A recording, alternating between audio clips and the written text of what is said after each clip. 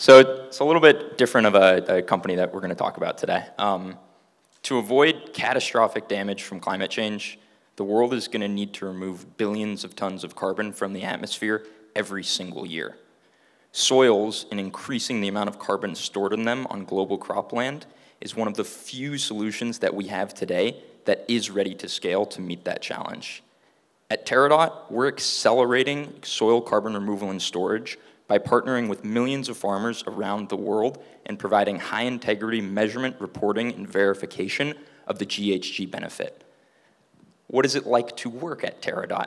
We are a small, in-person, mission-driven collaborative team, five days a week um, in the office. It's engineers, it's scientists, um, and we have a lot of work to do. Our goal is to remove over a billion tons of carbon from the atmosphere just in the next decade, and that is not going to be easy.